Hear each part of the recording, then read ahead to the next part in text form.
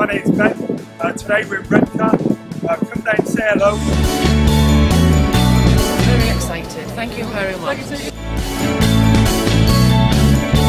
Lovely box chocolates.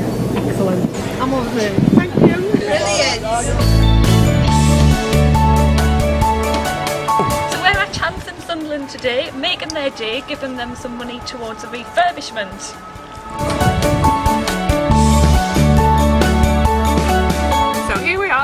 Outside Emily Jane's house and we're going to make her day by giving her a surprise trip to Blackpool this weekend.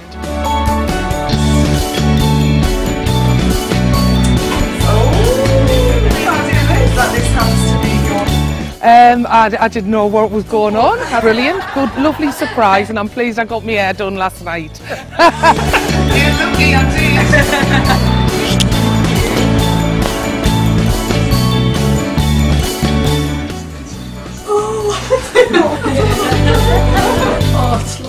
We can all have family time together and it's just a nice surprise. You